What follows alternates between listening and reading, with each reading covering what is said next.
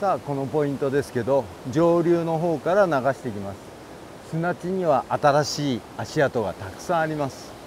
流進の脇から入れて上手に入りましたよ。ここのところでスーッとこの開きに来てここで待ってるやつがかかるわけで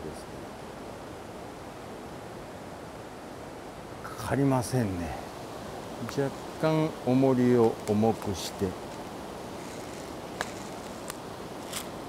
今2号と1号2つつけて先ほどのフラフラフラフラして流れた下手くそな流れをきちっと流れるようにしますね。この速い流れですけども目印を浮かせ気味にしてしっかり入れていきます。こんな具合に流進ですけどこの流れ方変わりますよね。しっかり入れていきます。ここでいれば流進ですけど食うわけです。今度開きに行きます。開きを釣る場合は反対に軽い重りにします。2号と1を外して4号が1つ。ミミズを皮むしに変えます。先ほどの高くした目印をやや下げてそしてふわっと流し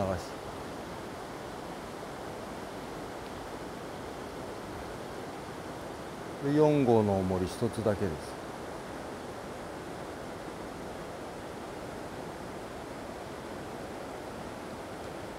ほら来た。おおおれおれおれおれ落ちてっちゃう落ちてっちゃう結構何をやってるんだろうね本当にもう。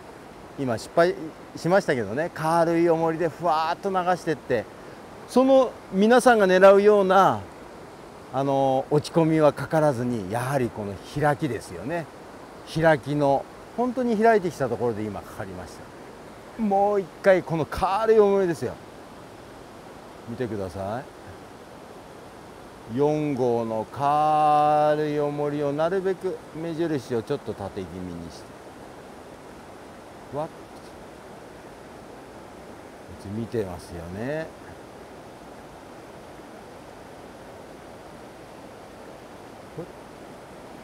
今度は。手前の落ち際ですね。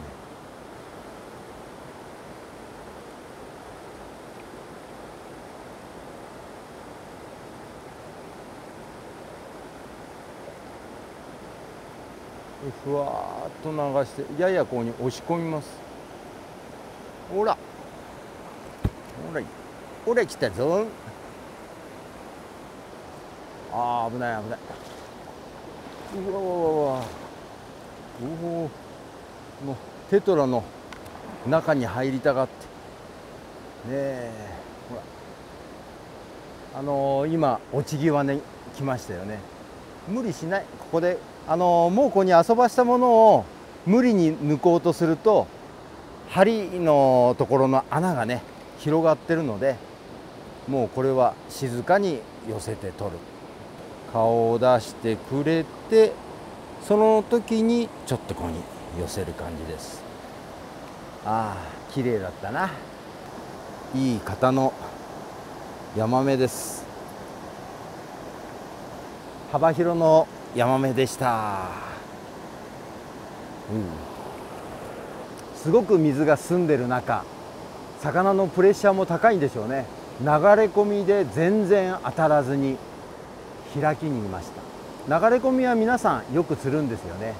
だから本当は C なんですけど私数を稼ぐ時にはあの背尻次の背に落ちる頭をよくやるんですよね。